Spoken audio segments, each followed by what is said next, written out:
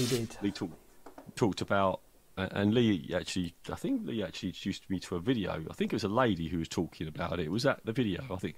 And she talked about how you innovate and create friction, but that friction creates the the, the environment for new ideas and taking small risks.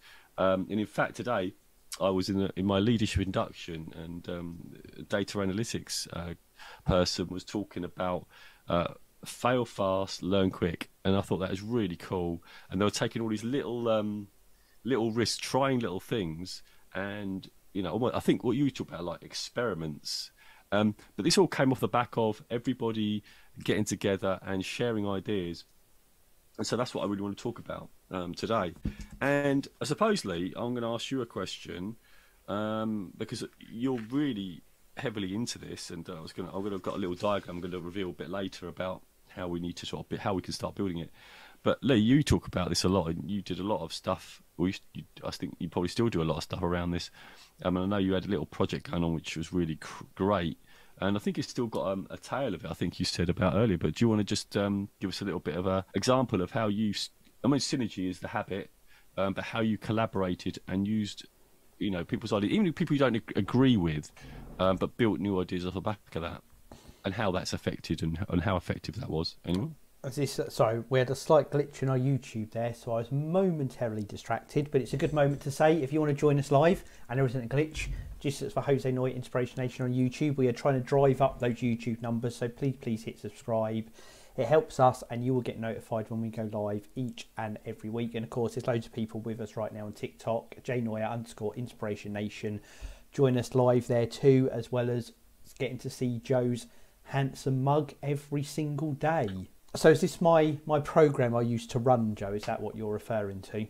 Yeah, you don't run it anymore. Is it? Is it now its own thing now? Well, I, I do. It's, it's I don't know. It's kind of amalgamated into the whole job. But anyway, I just wanted the context of what I was talking about. No, I still do. I did one in February. I'm going to say the last one. So the place that I work, I run a, a an ideas change innovation forum type thing, and the whole idea is to kind of get everyone who wants to be involved in change, thinking about doing things different, bringing ideas to the table, talking about ideas, discussing ideas. So, yeah, it's an idea I came up with. I say an idea I came up with. Obviously, lots of places and people, businesses do this type of thing. This is an idea I emulated and brought into my place of work. I'm going to say six, seven years ago now, Joe, maybe something in that. I have that the original video. Oh, do I you? Put it, I put it. I think I put it on YouTube. Obviously, it's very private. I've not released it. It's just there, sitting there.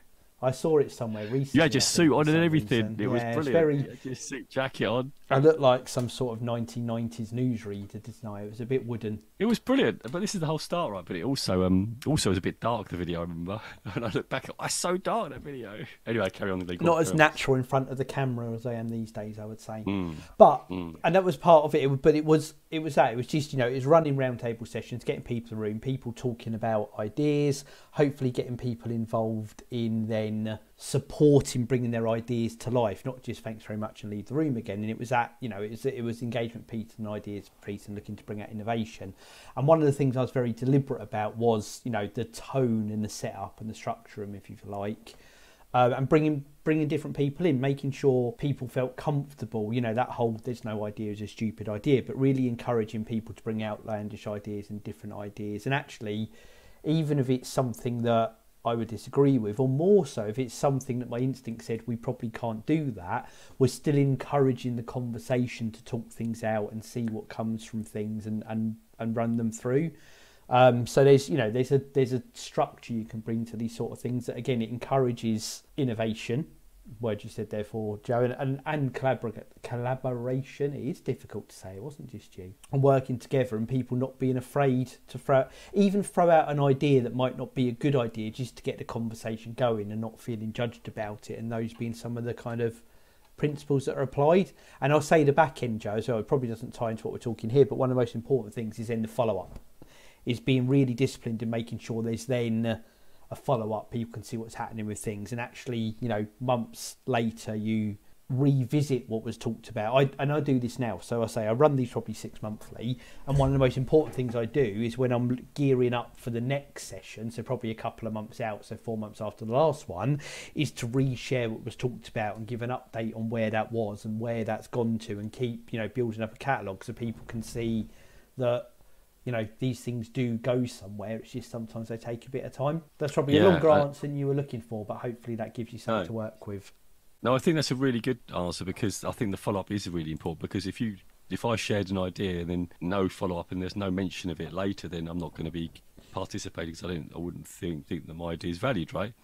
Um, but even if it wasn't taken up and the idea was say, oh, we couldn't do it, but this is the reason why we couldn't do it, then there's much more investment because I'm willing to put forward something else, right? So I think it's really, really important. Also, it's talking about like the coaching element of that is um, follow up is okay, where's the timeline? Where's the line in the sand and when things are going to start happening? Because again, without timelines, it never doesn't happen. So I think, you know, almost you're looking back down the mountain. action steps are all critical for, you know, making these things happen. And this is what Synergy is about. So in the book, Stephen Covey, so I was having a read of it, talks about nature and how, you know, even nature works together. So if you've got two plants, he talks about in one of his in, in part of his book, two plants to get together, their roots intertwine, and because they're working together, the soil is actually more fertile. So they grow stronger when plants are together. I know some, you know. So what I'm trying to say here is that we should be doing more of this. And what I can give you an example of what I'm actually trying to do at the minute. And, and everyone you know here is that I'm passionate about coaching, right? Oh, really? I did not know that about you. No, I did not know that right. about you. Uh, so at the moment, I am trying to really build this coaching culture, and uh, and one of the steps I've taken to build synergy and to build collaboration is to actually because at the moment I'm trying to bring all the coach, not just the coach in in our businesses or the business that that, that I, well the business I'm working at the minute. You know, we all have coaches, and coaching is a real thing. You know, now um, it's very it's, it's, quite a corporate word now, but it means different things to different people. But what I'm trying to do with our coaching is one is the coaching we're doing real coaching, and two, how do we how do we get all the coaches together? because synergy is about working together, right? So what's happening at the minute? We've got coaches in one area, coaches in one area, but they're working great and they're doing their work, but they're doing it in their own areas. They're not actually cross pollination. I call it. I don't know if that's the thing, but I want term, them to. I like it. I want them to cross pollinate because I think you know something that could work in one area is probably going to work. It might work well in another area, and likewise, if, if one area's got a problem, someone may have already come across that problem, solved it, and then could pass the best practice on in a coaching way. So what I've developed is I've I've used Teams, and what I've done is I've just put I've, I've put everyone through a program. It's it's a program that um, I run at this this this this company I work for, and um, anytime anybody goes through that, there's probably about over a hundred people in this community. I've put set up a Teams chat, and now I've set up, and now we're sharing ideas in there. I'm asking people to share stories, and so what I've now I'm trying to do is get people to help each other through a coaching community and so that is what we're, we're that's what I'm building at the moment, um, and that for me is part of that synergy piece. Um, and even when I'm running these sessions, I'm asking people to contribute and be honest. Because another part of synergy is actually to accept that not everyone's going to agree, and you know how you deal with disagreement could be a real. It could either block you coming up to an even better idea and building on idea, or actually, you know, if you start to go, well, I want my idea to be the best idea, then that's when you block synergy. You've got to work with those ideas and build and build and build until you come up with something maybe that's actually totally unique, built off the back of maybe disagreement, but it's respectful disagreement. So, off the back of that, I do have something that will that will help.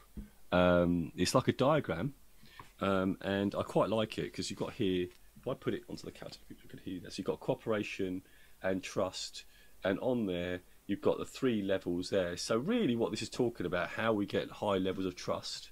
I'll just search TikTok as well quickly, so you can see. I'm going to hold up for a second. That's good. Um, just to describe that out quickly for those that are listening, Joe. Yeah. So a, a, graph there. Of, yeah.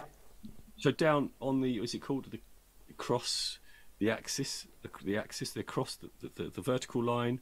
Um, you've got trust, high trust, and you've got high cooperation. Um, but if you've got you've got so if you've got on one side the high to low, low to high, yeah. and on the across axis you've got low to high.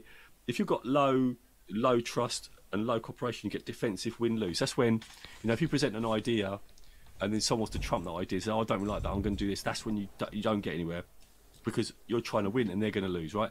We talked about win lose in the previous episode, so it is about everyone trying to get to a win-win scenario because then we can build and build and build. Even if, we, if we're disagreeing, how can we then get to a win-win so everyone's getting getting something out of it? Then there's the middle part where it's the trust, where it's like in the middle of trust and in the middle of cooperation, sort of the middle part of this this diagram, um, which is called respectful compromise. Now that still can work, but the things you're compromising.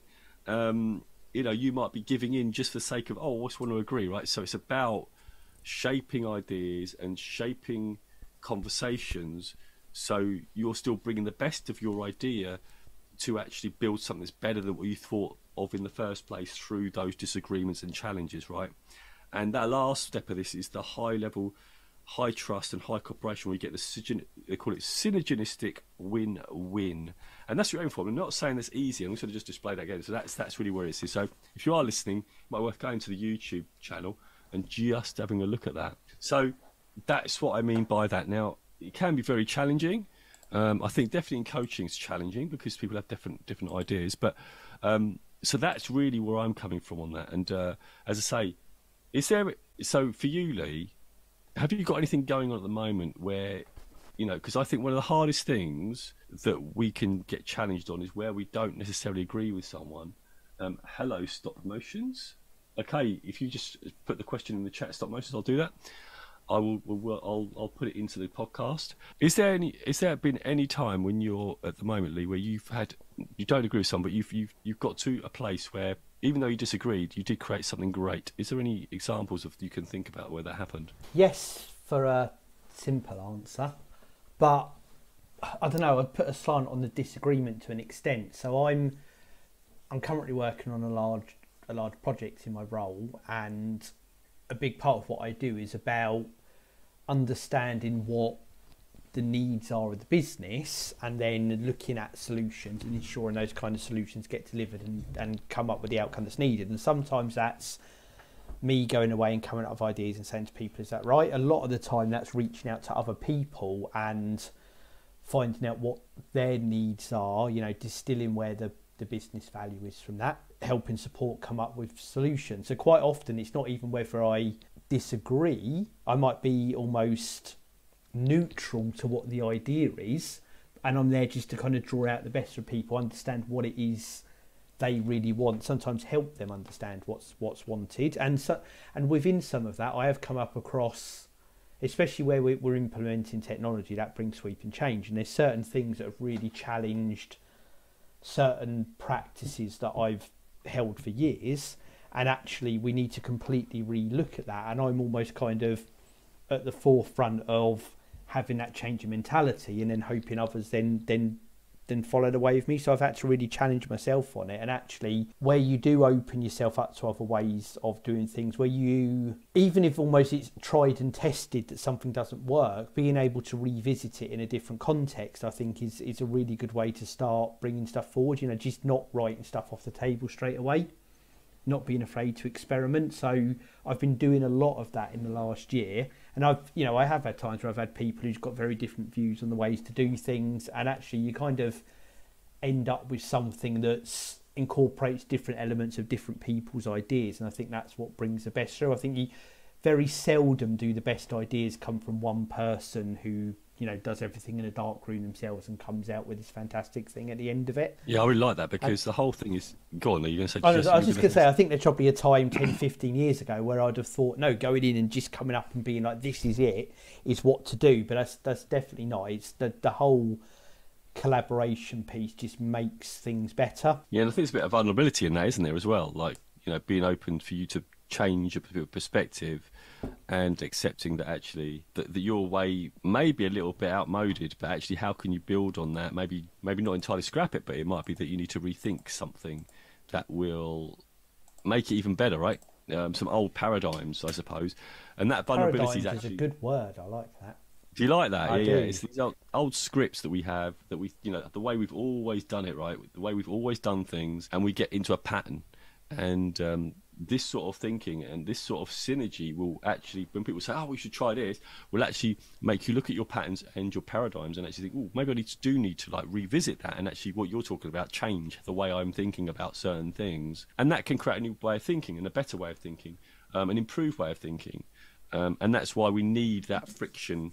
Um, and actually, that vulnerability piece talks about that trust and respect. So when we talk about that diagram, the trust is like when you're vulnerable and you say, "Hey, look, I've tried this, this didn't work," or you know, I'm open to, to change. Then you build trust and say, you know, in fact, in one of these sessions I had today, um, you know, I was I was actually talking to people. We talked about leadership today. Um, I had a leadership induction that I, I, that I run, and I was being open and honest about the, the mistakes that I made in leadership and uh, and and when I did that, I, you could see the trust build in the room. And I do this quite a bit because usually you have to, to, to build to build trust. You need to go first with being vulnerable, and then other people will start to pile on on that and start to go. Do you know what I've done this because you know that's the, another thing that Stephen talks about in his book. Be honest about where you are, what you what what you're failing at, um, or what you failed at, because other people then say, Do you know, what I've had trouble with that. And, and, a lot of times, a lot of people have had the same challenges. Thank you for the likes, by the way, Stop Motions, and ask a question. I really appreciate it. So I was talking about, in fact, I'll tell you what the example was. And this created a great discussion. I actually remember running a team, and um, I said, I don't know if I told this one before, but I remember there was a per- there was a person in my team, and they were not performing very well at all. This is a story I tell quite a lot of my leadership inductions to, to, to say, hey, look, I'm running this session, but by all means, I am still learning, just like you and um, this person wasn't performing. So what I said to them was, I said to them, "Your failure is my failure." I don't know, uh, Lee. Can you guess what happened as a result? Can you guess what their performance happened to their performance when I said that? Oh, I oh, broke, Lee's gone off I've broken my camera. I'm still here though. Are we I'm, still there? All oh, right. Okay. Can you have? A, I'm guessing. I'm guessing, Joe, that their performance either stayed where it was or maybe even got even worse than it was in the first place before you had that conversation. It did get worse. And what do you think they did when I said, "Oh, you, you know," when I sort of chat, not challenge, I suppose the word was when I when we when we started to review the performances. I think Lee's back. We I can't see him. When we started to review the performance, what do you think their? What do you think? What do you think? Um, how, where do you think they?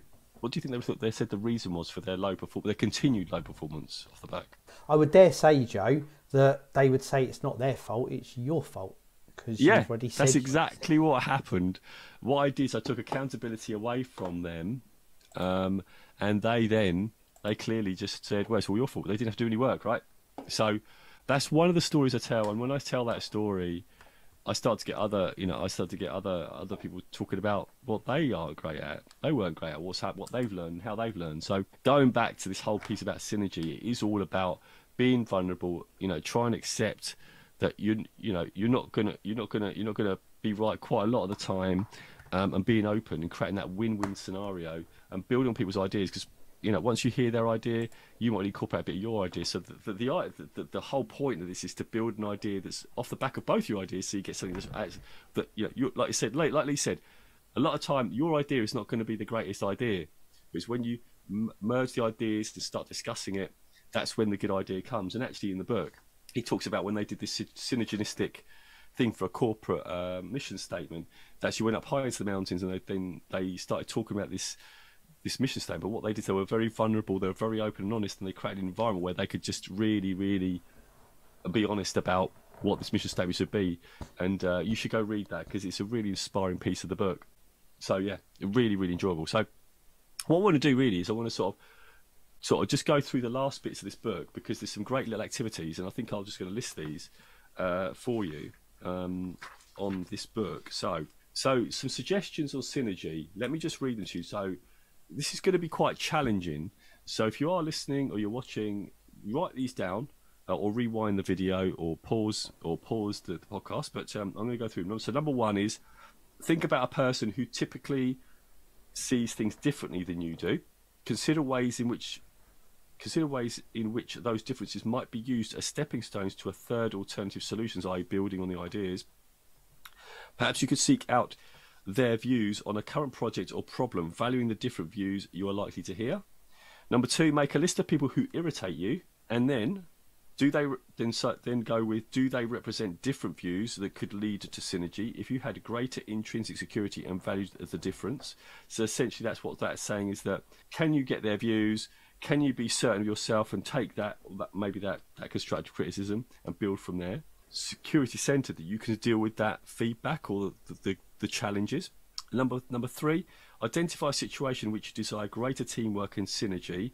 What conditions would you would need to exist to support synergy? What can you do to create those conditions? And I think this goes back to what you created, Lee, with your um, with your project, and it's something that I try and create in my in my training sessions. That that element of trust where people can feel that they can say whatever, you know, and feel that it's not going to go anywhere and actually be trusted that it can be taken and go. It won't be, you know, what's the word? Pull pulled down, um, and then it will be listened to. And the last one is the next time you have a disagreement or confrontation with someone, attempt to understand the concerns underlying that person's position, address those concerns in a creative and mutually beneficial way. So what what he's saying there is you are then trying to be create something that you can get a solution that doesn't criticize them, but you're trying to get the win-win so you both benefit from the conversation rather than having the butting heads of one's got to lose. That's what that's what he's saying there. So address the concerns in a creative way and mutually beneficial way so we both try and get the win. Though that's very it's quite challenging and quite difficult. But there you go. Any thoughts on those exercises, Lee? It's really uh, lazy to say I agree with them all, isn't it? But I like I like how I do. It's no, it's okay. Remember, we've got to trust, right? If that's what you think, that's what you think, right? I, but I do, I do think they, and I think we might have talked about this last week, and it feeds into another idea I've got for another podcast. But it kind of challenges your kind of that human defence nature, doesn't it? So I think there's there's something in there where you've got to be going back to a very very old podcast, Joe. Going to say like episode 14, 15, maybe somewhere around there. The whole conscious competence model. I think you've really got to almost remind yourself to do some of those things, and keep reminding yourself and catching yourself and almost replaying interactions you've had to make sure you're doing them until they get into your mind and you're aware of it and they become things you do more and more naturally. And it's a it's almost practice makes perfect I think with those those ways to try and try and uh, force isn't the right word but you know push that mindset into how you are. So it's really interesting you saying that as well like because I actually did that not it was probably about three years ago where I think it was an Evan Carmichael video and and he, and uh, uh, I don't know. I think it's one of his videos, but he sort of said to people, you know, you know, like Elon Musk seeks out real, radically honest feedback, right?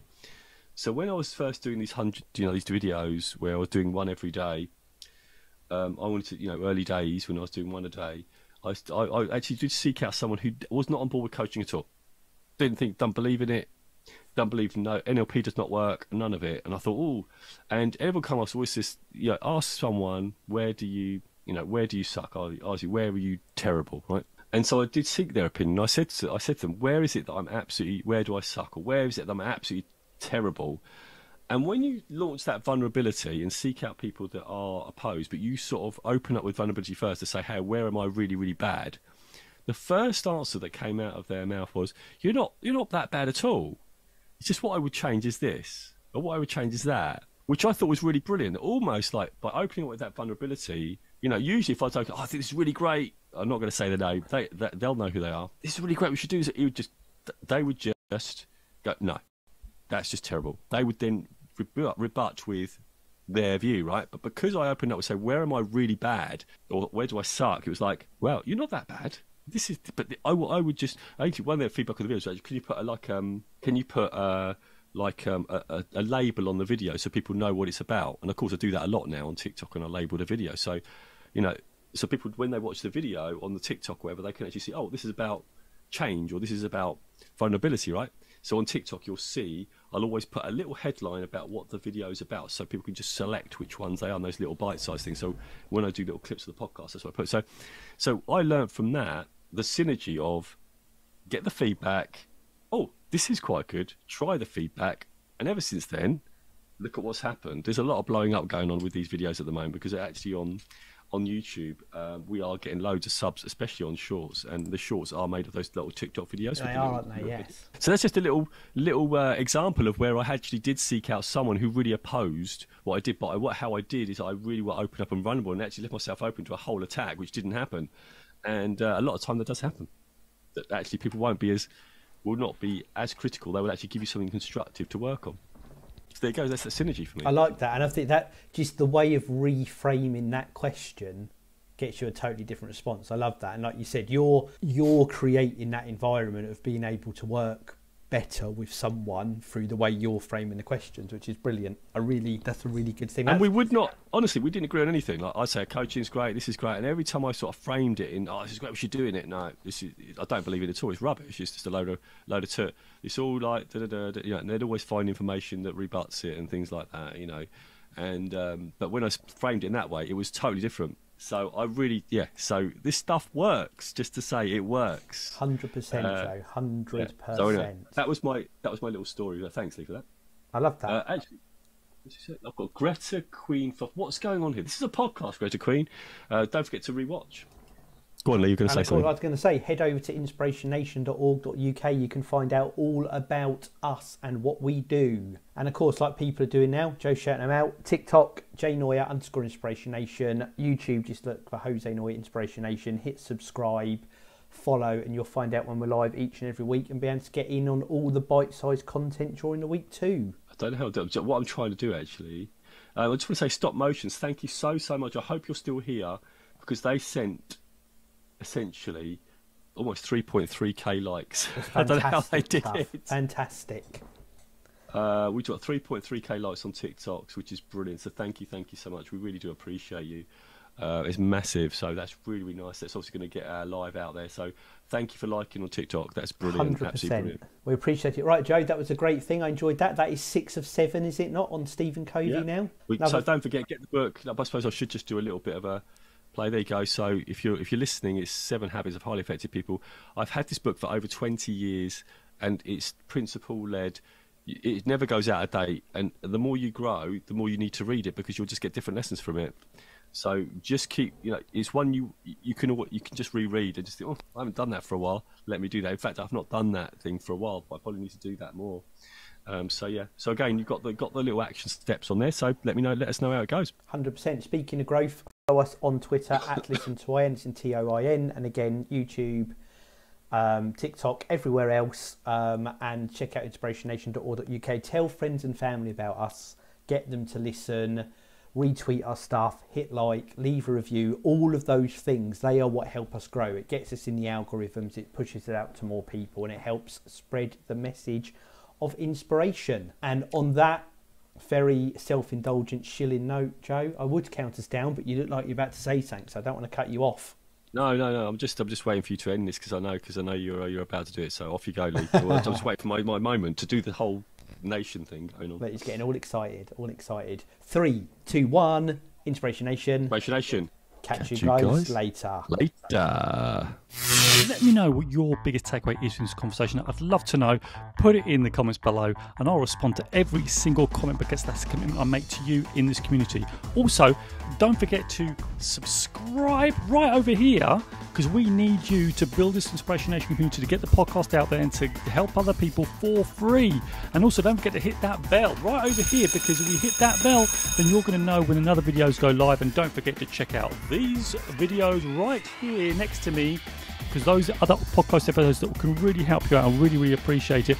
And lastly, don't forget out to check the newsletter. The link is in the description below. That's where I can talk directly to you without through the YouTube, throughout the social, because you can have a direct communication channel with me through the email and you can get to know everything that's going on with Inspiration Nation, ask me questions, and even give me suggestions on what you'd want us to talk about next. So I'd love to see you in the next video. So please click on those links. Please follow through. Please let's get this community building. I appreciate you. So until next time, I'll see you in the next video, Inspiration Nation, and I'll catch you guys later.